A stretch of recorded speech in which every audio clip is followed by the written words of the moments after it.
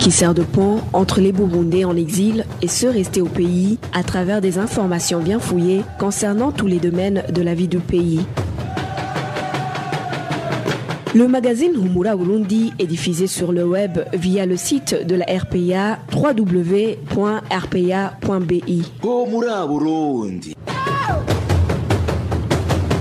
Bonsoir et bienvenue à toutes et à tous dans le journal du magazine Humura Burundi de ce mercredi 16 octobre 2019. Tout d'abord les titres.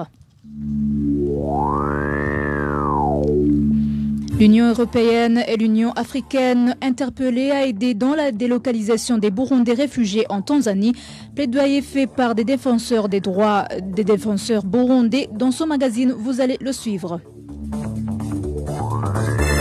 Manque criant de médicaments en commune Chendajuru de la province Changuzo, le non-remboursement des dettes par le gouvernement à certains hôpitaux et dispensaires serait à l'origine de cette carence. Inquiétude exprimée par les habitants de la colline Kididiri en province Kirundo suite à l'instauration du couvre-feu à 19h. Dans son, dans son magazine, vous allez également le suivre. Voilà pour le sommaire. Vous suivez ce journal en direct sur la page Facebook de la RPA. À la présentation de ce journal, Nadège Irakodze. À la cabine de son, MSTV Nyungeko et Milni Basumba assure la prise d'image.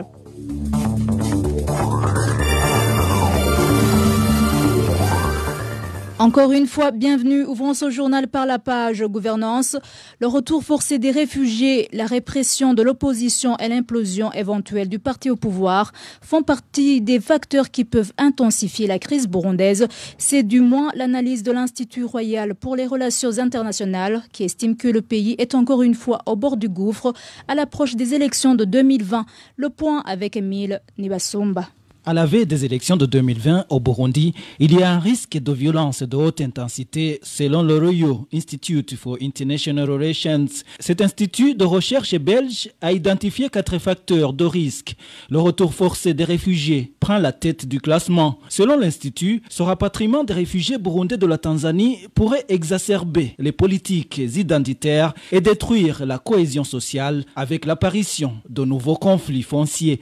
Le second facteur de risque c'est la répression accrue de l'opposition. L'opposition qui a déjà été réduite au silence selon l'Institut de recherche belge. Ce dernier explique que cette répression à grande échelle produira sans doute des conséquences néfastes pour la stabilité du pays. La position ambiguë de Pierre Nkurunziza au sein des FDD et les divisions croissantes au sein de ce parti au pouvoir présentent le troisième risque. Un risque qui non seulement pourrait menacer la cohésion du parti et engendrer des scènes politiques turbulentes, mais peut également déclencher des explosions de violence au sein des Imbonerakure qui semblent déjà incontrôlables. La situation est d'autant plus compliquée qu'il est difficile de savoir si le président Nkurunziza tiendra sa promesse de ne pas se représenter aux prochaines élections, souligne l'Institut. Enfin, le quatrième facteur de risque Selon l'Institut belge, c'est l'épidémie de malaria et le risque que le virus Ebola traverse les frontières en provenance de la République démocratique du Congo. Ceci peut entraîner des conséquences graves sur le plan socio-économique et politique. L'Institut belge recommande que l'accent devrait être mis sur le maintien des options permettant de fournir une assistance humanitaire en cas de violence à grande échelle ou en cas d'Ebola. Il faut également maintenir la pression politique pour un espace démocratique, selon Royal Institute for International Relations. Merci Emile Nibasumba. À propos des réfugiés burundais, la rentrée des réfugiés n'est toujours pas signe de stabilité de leur, pays d'origine. Dans un rapport sorti ce 16 octobre, IRI, l'organisation internationale qui milite pour les droits des réfugiés, présente le cas de retour des réfugiés burundais comme un potentiel de tension ravivée et de nouvelles migrations. Tess Van Ley est le président de l'organisation IRI. Ce qu'on a vu au Burundi, c'est que dans le passé, il y a déjà eu des grandes opérations de retour, donc des réfugiés qui sont rentrés il y a moins d'une décennie et qui ont eu pas mal de difficultés à, se, réintégrer d'une façon sociale, économique et politique.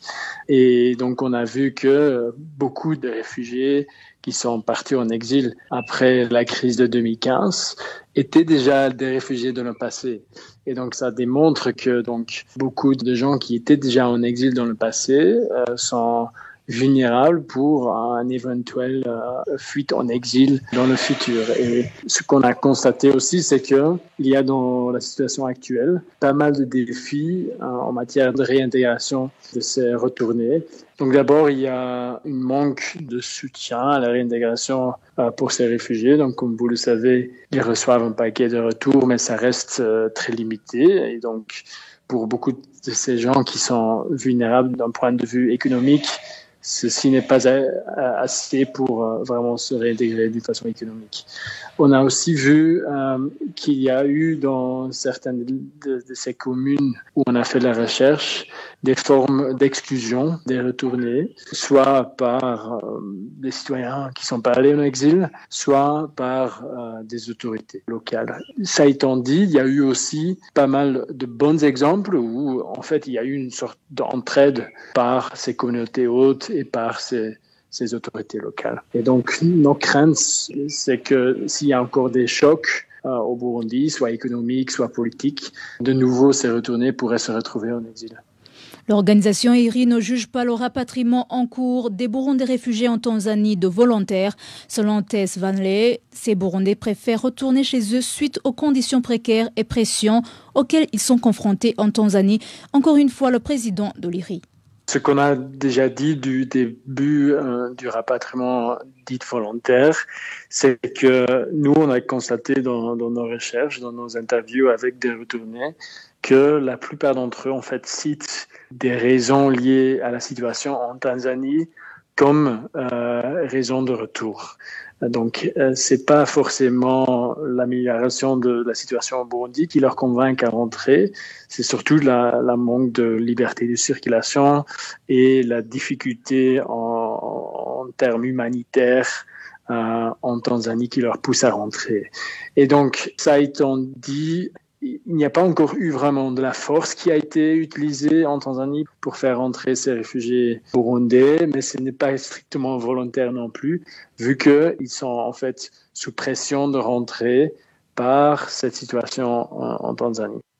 Selon ce rapport intitulé Revenir vers la stabilité, retour des réfugiés dans la région des Grands Lacs, le Burundi est classé parmi les dix premiers pays de provenance de réfugiés dans le monde, avec, actuellement plutôt près de 360 000 personnes sous statut d'exil. Également ce mercredi 16 octobre s'est clôturé à Banjul en Gambie le 9e séminaire de l'Union européenne et africaine sur, sur le respect des droits de l'homme, en particulier ceux des réfugiés. Dans ce séminaire qui a duré deux jours dans lequel avaient participé plusieurs organisation internationale de la société civile, l'organisation ACAT Burundi a demandé que les réfugiés burundais se trouvant en Tanzanie soient délocalisés. Suivez Denis Ndayishemeze qui, qui a représenté l'ACAT Burundi dans ce séminaire. L'année 2019 est une année importante pour la société civile travaillant sur euh, la migration, l'asile et les déplacements forcés. C'est la toute première année de la mise en œuvre du pacte mondial sur la sécurité, la migration régulière et ordonnée et le compact global sur les réfugiés. L'Union africaine a déclaré 2019 l'année des réfugiés, des rapatriés et des personnes déplacées à l'intérieur de leur propre pays. Et sur le continent européen, des tentatives de réforme des régimes d'asile européens communs et se sont révélées source de division parmi les États membres de l'Union européenne. Les pays essaient de trouver un autre système, mais ça bloque encore. Et dans le cadre des relations Union africaine-Union européenne, les migrations jouent désormais un rôle dominant, surtout que l'Union européenne a constaté que le problème persiste et qu'il faut trouver à tout prix une solution durable. Dans cette réunion, nous avions évoqué la question des réfugiés burundais qui sont dans le pays voisin, la Tanzanie. Nous avions signalé qu'au Burundi, il n'y a pas de sécurité. Les gens continuent à être tués, d'autres emprisonnés, surtout une partie de l'opposition. Et nous avions montré également qu'il y a un accord de coopération qui vient d'être signé en date du 12 octobre entre la police burundaise et tanzanienne. Lequel accord, le gouvernement tanzanien vient ouvrir les portes à la police burundaise et aux jeunes affiliés au parti CNDD-FDD, déguisés en police, d'entrer dans les camps de réfugiés burundais. C'est-à-dire que toute personne qui a fui, alors qu'il était dans l'armée, tout politicien de l'opposition ou tout autre fondeur auront tous de sérieux problèmes. C'est-à-dire, on viendra les arrêter et ils seront accusés de tous les maux. C'était Denis Ndaishemedze qui a représenté la CAT Burundi dans son séminaire à Banjul. Après une courte pause, la page Droits de l'homme. En page droit de l'homme, le responsable du parti Sénel en commune Wuhiga de la province Karoudi a été arrêté par la police ce mercredi matin à son domicile dans le village de Paix situé sur la colline Chang. Les informations fournies par la population indiquent qu'il a été torturé avant d'être emmené au cachot du service des renseignements à Karoudi, accusé de détention détenue policière. Le point avec Emmanuel Nyungeko. Son responsable du parti CNR en commune Buhiga de la province Karouzi, arrêté ce mercredi matin, s'appelle Étienne Ndaïzeye. Les informations en provenance du village de Paix situé sur la colline Shanga, en zone Buhinyuza, où habitait ce citoyen, indiquent qu'il a été intercepté par des policiers dirigés par le chef du service des renseignements à Karouzi. Accusé de possession de tenues policières, la victime a par après été torturée, comme en témoigne cet habitant de la place. C'était un nombre important de policiers à bord d'un véhicule de la documentation. Ils l'ont trouvé endormi et lui ont fait savoir qu'il venait de trouver des tenues policières et une grenade dans sa parcelle. Ils l'ont bâti jusqu'à ce que son visage, ses jambes et ses bras soient gonflés. Il a d'abord été emmené au cachot de la zone Wuhiga avant d'être transféré à la documentation. Du côté du parti CNR, il nie ces accusations et parle d'une énième persécution vu que ce n'est pas la première fois qu'ils sont victimes de montage. Contacté à ce propos, le responsable du service des renseignements en province Karouzi, après notre présentation, nous a raccroché au nez. Merci Emmanuel Niungeko de la province Karoudi. Passons à la province Kirundo. Aucun habitant de la colline Kididiri n'est autorisé à s'aventurer en dehors de son domicile après 19h. Exception faite aux Imbonerakure de la place qui continuent à effectuer des rondes nocturnes. Les habitants de la dite colline se disent très inquiets, surtout que ceux qui violent ce couvre-feu en paient les conséquences. C'est un reportage signé Hermès Nibandetse. Les habitants de la colline Nekididili, commune Usoni de la province Kirundo, qui s'étaient petit à petit habitués à des rondes nocturnes, désibonnaient la coulée. Mais, selon notre source, ce qui les inquiète plus, c'est que ces jeunes affiliés au parti au pouvoir, le CNDD-FTD, se baladent aujourd'hui en imperméable policier pour soi-disant faire respecter un couvre-feu récemment décrété. Maremare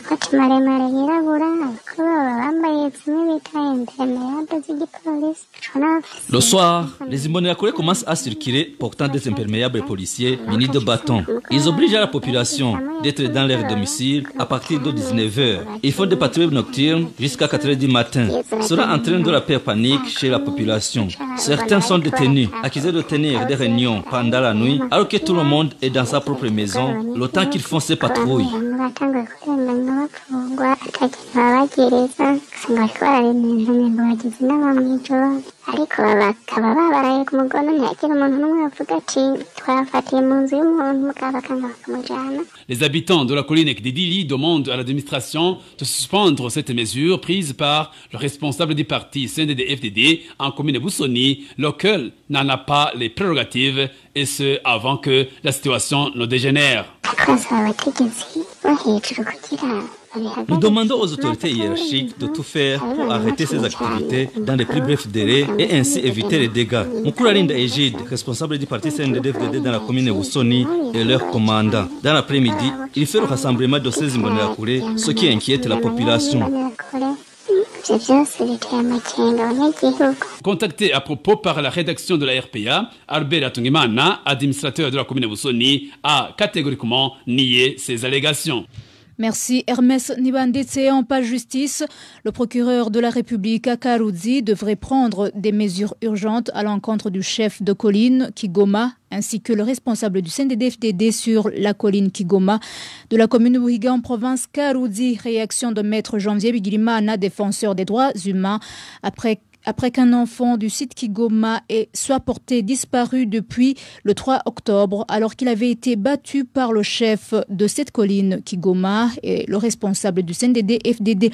Suivez Jean Janvier Bigirimana. Il était au micro de notre confrère Emmanuel Ndaishimier procureur de la République en province de Kalouzi devait prendre toutes les mesures urgentes qui s'imposent, y compris la possibilité de détenir préventivement les deux personnes impliquées dans ce crime, afin que la situation de ce crime puisse être élucidée. Les autorités administratives, en collaboration avec le procureur de la République en province de Kalouzi, devaient tout faire pour que cet enfant soit retrouvé. Lorsque un enfant a été battu qu'il est porté disparu et qu'on ne connaît pas la situation actuelle de l'enfant, c'est une situation tellement dramatique qui devrait interpeller même ces acteurs de la justice parce que eux aussi, ce sont des humains. À côté d'être chargés de mettre en application la loi, ils doivent aussi se mettre dans la peau des parents qui sont dans une situation très critique. Nous interpellons donc le procureur de la République en province de Kalouzi de mener des enquêtes urgentes et sérieuses pour retrouver cet et de tout faire pour que présumés auteurs ne puissent échapper à la justice lorsqu'ils ne sont pas en situation de détention préventive. Nous craignons qu'ils puissent fuir la justice ou qu'ils puissent effacer d'une manière ou d'une autre les traces de l'infraction, pourrait également intimider les membres de la famille de la victime, raison pour laquelle, parmi les mesures urgentes à prendre, nous pensons que la détention préventive serait une mesure qui s'impose de la gravité des faits reprochés aux deux personnes. C'était Maître Janvier Bigirimana. Vous pouvez suivre ce journal sur les différents comptes de la RPA, à savoir Twitter, SoundCloud, SoundCloud et YouTube. À présent, page santé, pénurie de médicaments en commune Chendajuru de la province Changuzo depuis plus de deux mois. Le non-remboursement de dettes que le gouvernement doit aux hôpitaux et dispensaires de la place serait à l'origine de cette carence. Les habitants de cette commune demandent aux personnes habilitées et surtout au ministère de la Santé de trouver solution à ce problème avant que la situation ne dégénère. Les détails avec Éloge Divin, les méchats stagiaires à la RPA. Les habitants de la commune Tiendadjourou indiquent qu'ils sont aujourd'hui contraints d'acheter à 100% les médicaments qu'ils recevaient d'habitude gratuitement.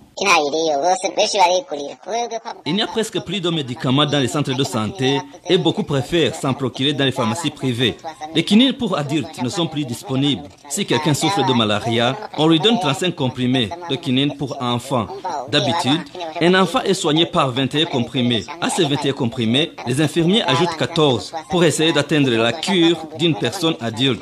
Dans certains centres de santé, comme par exemple au centre de santé de la commune Tchendajuru, il n'y avait même pas de paracétamol.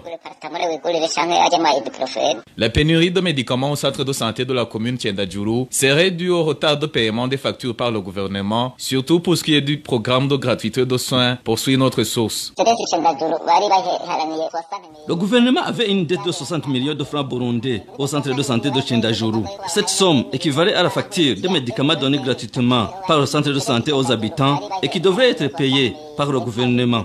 Ce dernier n'a payé que 2 millions seulement. Le centre de santé a opté pour l'achat des médicaments des millions 500 000 et les 500 000 restants ont été dispatchés dans les salaires du personnel du centre de santé. Faute de moyens, révèle toujours notre source, le centre de santé a suspendu l'achat de ces médicaments normalement dispensés gratuitement à la grande désolation des malades qui sont les premiers à en subir les conséquences. Actuellement, les centres de santé ont décidé de ne plus acheter les médicaments distribués gratuitement ou via la carte d'assurance maladie. À ce propos, nous n'avons pas pu joindre le médecin provincial de Changuzo, le docteur Zachary Kubgayo, de même que le docteur Tadendi Koumana, ministre de la Santé publique, pour plus d'éclaircissements. Merci Éloge Divin. Remecha, on parle société. La plupart des caniveaux de la zone Gagara en commune Nangwa de la mairie de Bujumbura sont remplis d'eau usée et de saleté. Des saletés qui se remarquent également dans les espaces verts.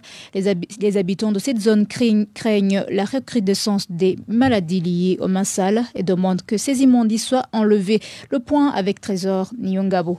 Dans les différentes rues du quartier 3 de la zone Gagara, les égouts sont bouchés. Les excréments et déchets en provenance des ménages débordent et se déversent dans les rues, dégageant ainsi une odeur nauséabonde. La même situation se manifeste également au niveau du quartier 4. Les caniveaux sont remplis d'ordures. L'une des causes de ces entassements d'immondices est l'absence d'un cadre d'évacuation des déchets ménagers. Ces immondices entraînent une mauvaise odeur qui envahit même les ménages. Certains passagers qui d'habitude attendent les véhicules de transport en commun à l'arrêt bus de ce quartier signalent qu'il y a beaucoup de mouches et de moustiques tout près de ces caniveaux et craignent d'attraper les maladies liées au manque d'hygiène. Les habitants de cette localité demandent aux autorités habilitées de faire tout leur possible pour restaurer la salubrité dans cette zone. Ces habitants craignent l'augmentation des cas de maladies liées aux mains sales, notamment le choléra qui fait déjà rage dans cette partie de la ville de Bujumbura. Trésor Nyongabo est stagiaire à la RPA, toujours en pâle société.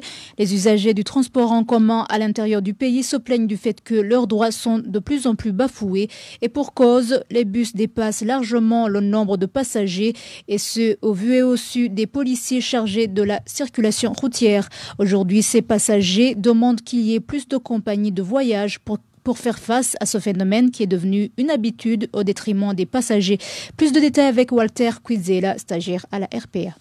Ce phénomène de surnombre de passagers s'observe surtout sur les parkings des véhicules qui empruntent le tronçon Gitega-Ngodi et vice-versa, tout comme pour ceux qui quittent Gitega pour Rutana. Souvent, les véhicules qui font ce transport sont souvent du type Probox et c'est d'une autre catégorie communément appelée Kagongo. Souvent, les véhicules qui font ce transport sont souvent du type Probox et c'est d'une autre catégorie communément appelée Kagongo, destinée à transporter 4 passagers au maximum. Ces derniers vont jusqu'à prendre à leur bord plus de 8 personnes et n'hésitent à mettre des passagers dans des coffres arrière. Les minibus du type IAS font de même. Ce qui est choquant pour ces passagers, c'est que tout ceci se fait aux yeux de la police de la sécurité routière. Ces derniers, à cause des ponts de vin qu'ils touchent de la part des chauffeurs, assistent sans rien faire au grand désarroi des passagers qui risquent tout le temps leur vie. D'où ils demandent à la police de roulage de se ressaisir et au ministère de Transport de multiplier les compagnies de voyage en fait de mettre fin à ce phénomène. Merci Walter Quizera. Et pour clôturer cette page société, célébration ce mercredi de la journée internationale de l'alimentation au Burundi, le ministère de l'Environnement, Agriculture et Élevage dresse un bilan positif en ce qui, concerne plutôt l'alimentation. Écoutons plutôt le ministre Deogid Rema. Il s'est exprimé sur les ondes de la radio nationale.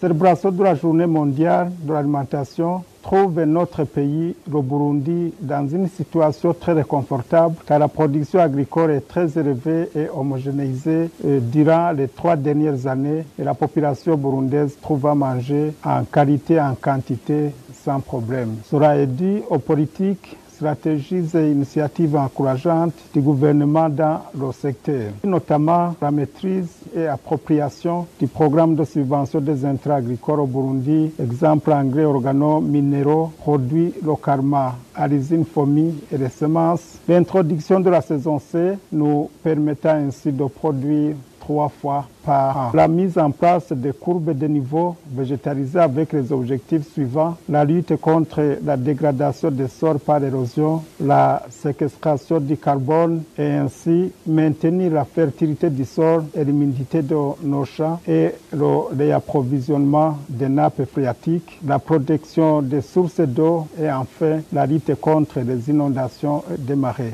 Le gouvernement est convaincu que le meilleur des investissements est celui orienté dans le monde rural à travers des appuis concrets des coopératives collinaires, exemple 30 milliards, 20 millions de francs et il encourage les partenaires à orienter le financement à l'instar du projet d'inclusion financière agricole et rurale pour faciliter les agriculteurs à accéder au crédit financier au faible taux. Pour prévenir et faciliter la conservation et la gestion des produits agricoles, le gouvernement du Burundi vient de mettre en place l'Agence nationale de gestion de stock de sécurité alimentaire en Agessa pour assurer un encadrement rapproché et la gestion de la récolte pour chaque saison culturelle. Avec toutes ces initiatives du gouvernement, à travers le ministère de l'Environnement, de l'Agriculture et de l'Élevage, je ne doute pas que l'objectif fin zéro, basé sur une alimentation saine, sera une réalité dans notre pays d'ici l'année 2030. C'était Deogud Lurema, ministre de l'Environnement, Agriculture et Élevage. Cette journée est célébrée au moment où les Nations Unies révèlent que la faim progresse dans le monde. Selon le rapport de juillet 2019, la situation est très alarmante en Afrique de l'Est. Près de 256 millions d'Africains n'ont pas mangé à leur faim en 2018. L'UNICEF, quant à lui, révèle qu'un enfant sur trois souffre de la malnutrition au monde. Et voilà, fidèles auditeurs de la RPA, c'est ici que prend fin le journal du magazine Humura Burundi de ce mercredi 16 octobre 2019. Merci de nous avoir suivis, merci à toute l'équipe rédactionnelle, sans oublier l'équipe technique. À la présentation de ce journal, vous étiez avec Nadège Irakodze. Bonne soirée chez vous.